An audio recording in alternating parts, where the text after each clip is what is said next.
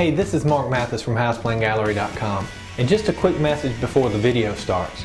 Now if you like this house plan and just need a few modifications, or if you just have questions about something you've seen on our site, just give us a call at 601-264-5028 and we'll be glad to help. Again, thanks for stopping by and we look forward to helping you find the house plan of your dreams.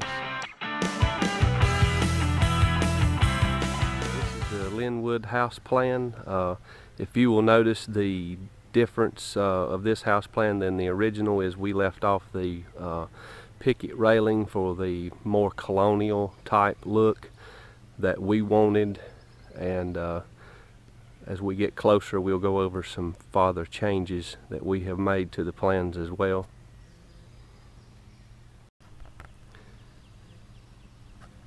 If you will notice on the siding we have used um, HardiePlank. We have opted to go with HardiePlank versus vinyl for the siding and as well on the uh, soffit uh, we use the beaded height event soffit.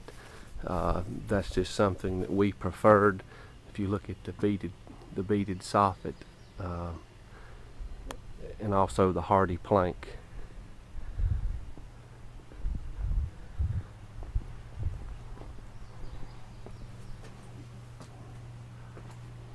This is a look under the porch of the beaded soffit and also we bumped the garage wall out two feet and we'll be showing you a view of that. We did it, we bumped it out two feet to put up a double garage door. So we come in the front door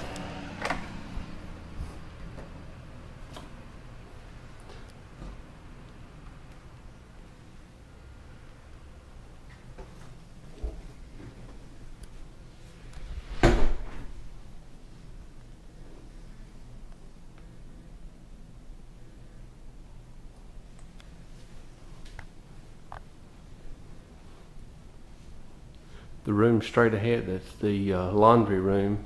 It was supposed to be a storage room accessible from the garage but we made that into an actual laundry room instead of a storage room.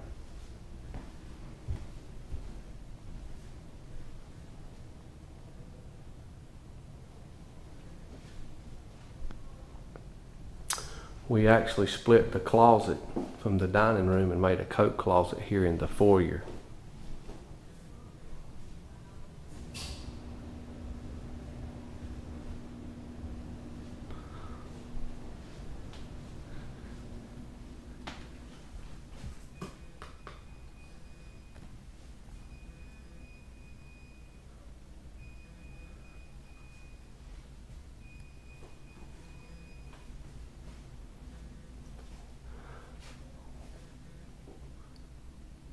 we added two foot to this end of the house and made this bathroom into a double lavatory instead of just a single lavatory like the plans show.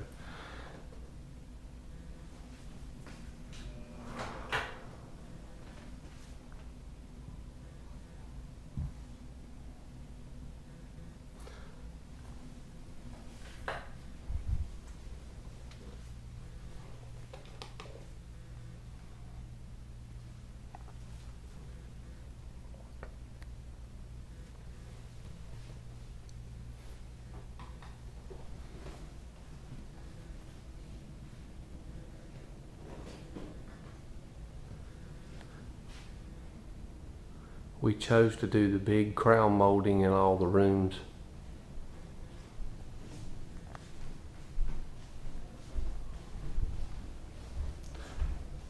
We actually made this kitchen two feet wider, that bay window's eight feet instead of six feet.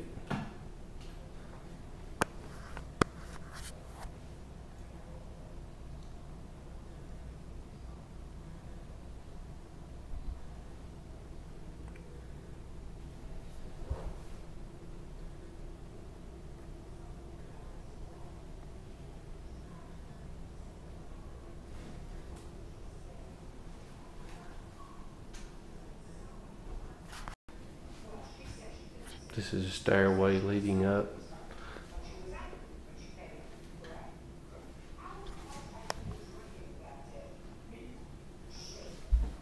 This goes out to the garage, but it's a mess. We won't show that. into the master suite. We opted to continue the crown mold instead of doing the actual tray ceiling that was showed on the plans. This was actually supposed to be a closet, uh, laundry room. We made this into a closet. And here's the master bathroom.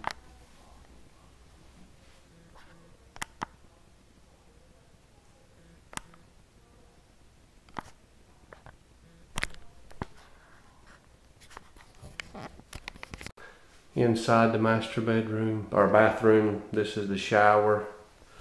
Uh, the crown molds continued throughout the whole entire house.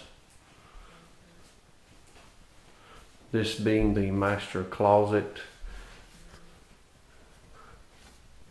which is a huge closet, walk-in closet.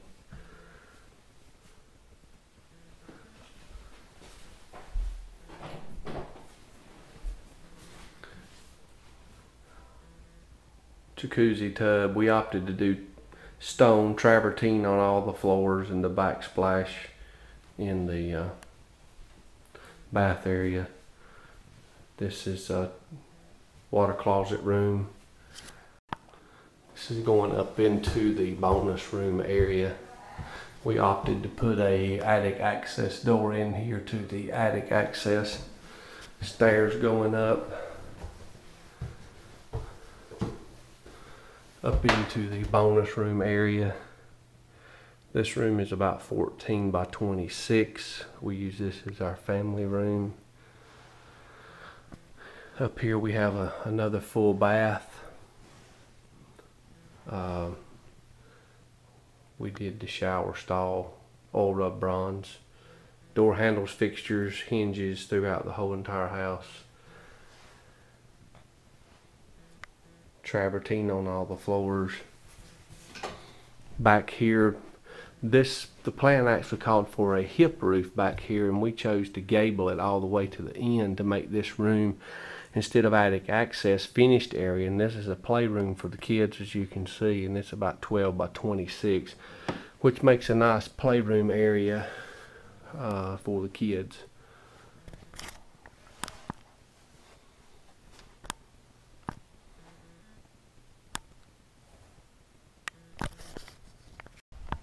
we are back outside again showing the front of the house um, and walking around to the left side of the house as you can see the garage area.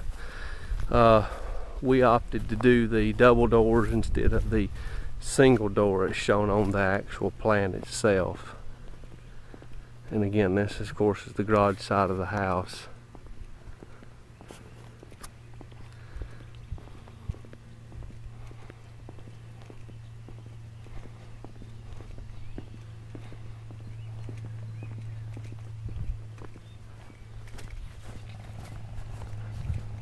going around to the back of the house. You can see the window up there where the bonus room is and again that was calling for a hip roof and we chose to gable it and go with uh, and put a window up there in that room as well. Uh, the witch's hat on the bay window uh, we did the uh, bay window brick instead of doing the stack joint as you can see on the bay window brick and also I put an overhang on the witch's hat instead of not not doing an overhang. We continued to overhang all the way around the house which I think was a nice accent. That's the inset to the porch. We don't have the steps built there yet. We're going to uh, we're putting a pool in and we haven't got that far yet. Uh, this being the uh, rest of the back of the house. Going around to the other side uh, we didn't do HardiePlank or vinyl in there. We just went ahead and bricked that gable all the way up. That's what we opted to do. So